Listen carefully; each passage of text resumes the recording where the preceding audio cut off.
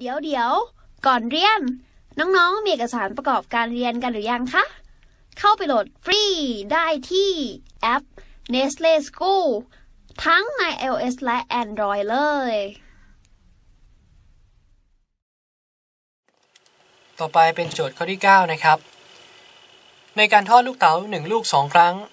จงหาข้อที่ 1 ย่อยครับจำนวนวิธีที่ผลรวมของแต้มเท่ากับ 7 2 ย่อยถามว่าจำนวนวิธีที่ผลรวมของแต้มไม่เท่ากับ 7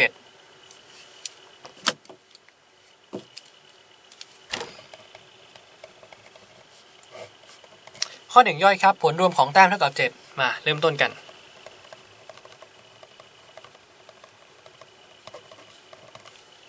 เท่ากับ 7 เกิดขึ้นได้ทั้งหมดอยู่กี่เคสครับ มาจากอะไรบ้าง มาจากเคสนี้ครับ 1 6 ก็เป็นไปได้ถูกไหม ทอดครั้งที่ 1 ได้ 1 ทอดครั้งที่ 2 ได้6นะครับรวมกันกลายเป็น 7 มาจากอะไรได้อีกครับมาจาก 2 5 มาจาก 3 4 มาจาก 4 3 มาจาก 5 2 และก็ 6 1 รวมมีกี่เคสครับ 1 2 3 4 5 6 รวมทั้งหมด 6 กรณีนะครับ รวม 6 วิธี อันนี้ก็ไล่นับเอาเลยนะครับสะดวกดี หรือออข้อที่ 2 ย่อยครับ ผลรวมแต้มไม่เท่ากับ 7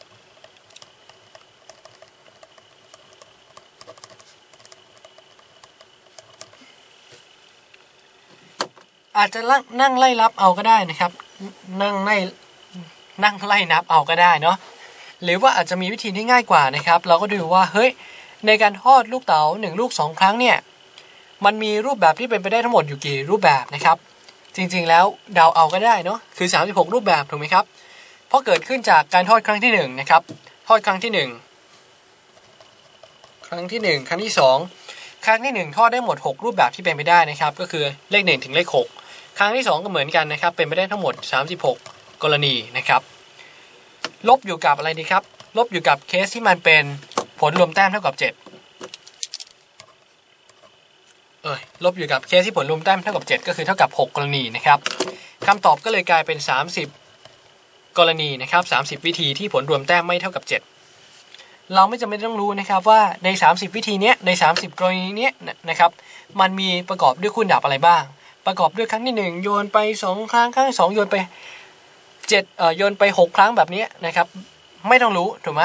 แต่เรารู้ว่ามีทั้งหมดอยู่ 30 วิธี ซึ่งเกิดจากการเอาทั้งหมดลบอยู่กับคอมพลีเมนต์ของมันนะครับ ก็คือลบด้วยเคสที่มันเป็นเท่ากับ 7 มีทั้งหมดอยู่ 6 เคสลบกัน 3 6ลบ6กลายเป็น 30 วิธี สรุปอีกรอบหนึ่งนะ ผลรวมแต้มเท่ากับ 7 นะครับ ไล่เอาเลยนะ 1 6 2 5 3 4 4 3 5 2 6 1 อันนี้ง่ายสุดละ ผลรวมแต้มไม่เท่ากับ 7 นะครับ นั่งนั่งไล่นับเอาก็ได้ แต่จะมีทั้งหมดอยู่ 30 ตัวแหละนะครับ ถ้าเราไม่นั่งไล่นับนะครับ เราเอาทั้งหมดลบอยู่กับคอมพลีเมนต์ของมันก็กลายเป็นทั้งหมดที่เป็นไปได้นะครับ ลูกที่ 1 โยนครั้งที่ 1อะโยนครั้งที่ 1 ถูกไหมครับ เลือกได้หมด 6 วิธี โยนครั้งที่ 2 ได้6วิธีจับมาคูณการตามกฎการคูณได้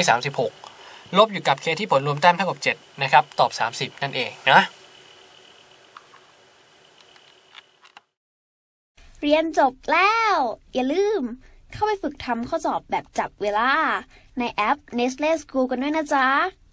ถ้าน้องๆมีคำถามสงสัย ไม่เข้าใจตรงไหน ถามว่าในแอปได้เลย แล้วพี่ๆจะรีบเข้าไปตอบให้นะคะ โห ข้อนี้ดีเกับพลาดแล้วเชียว ข้อไหนดีอย่าลืมจดนะคะ